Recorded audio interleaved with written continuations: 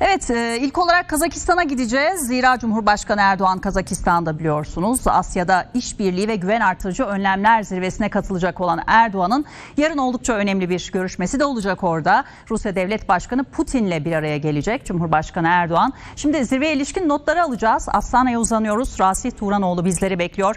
Rasih hem bugünkü e, zirvenin programına ilişkin hem de yarınki bilhassa o önemli görüşmeye ilişkin hangi notlar var elinde? Sözü sana bırakalım.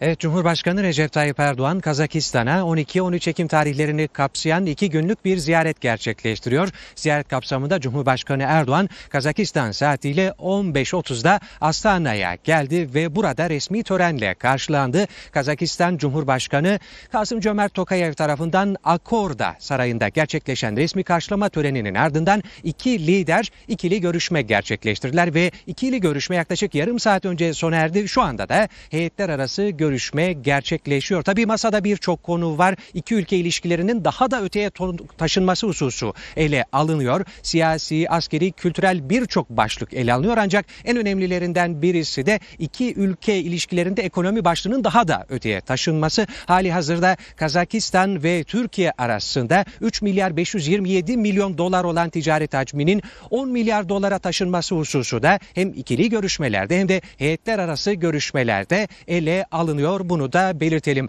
Bu görüşmenin ardından da heyetler arası görüşmenin ardından da iki lider bir basın toplantısı gerçekleştirecekler ve bazı önemli anlaşmalar imzalanacak. Akşam saatlerine doğruysa Kazakistan Cumhurbaşkanı Kasım Cömert Tokayev Cumhurbaşkanı Recep Tayyip Erdoğan onuruna bir resmi akşam yemeği verecek. Cumhurbaşkanı Erdoğan'ın bugünkü programı bu şekilde. Yarınsa Asya'da işbirliği ve güven artırıcı önlemler konferansı 6. zirvesine katılacak Cumhurbaşkanı Erdoğan ve bu zirve kapsamında konuk devlet adamlarıyla önemli görüşmeler gerçekleştirecek. Bunlardan en önemlisi ise Rusya Devlet Başkanı Vladimir Putin'le yapacağı görüşme olacak.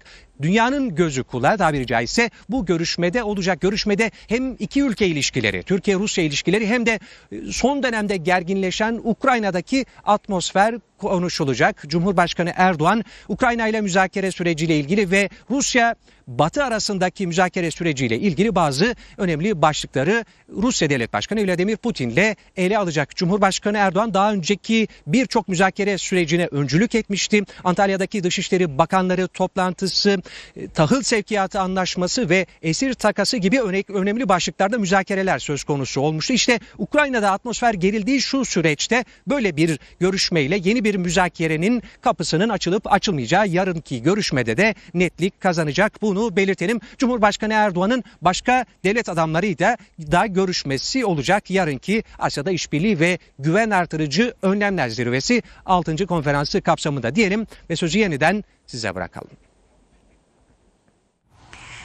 Evet Rasit Turanoğlu'ya teşekkür ederim.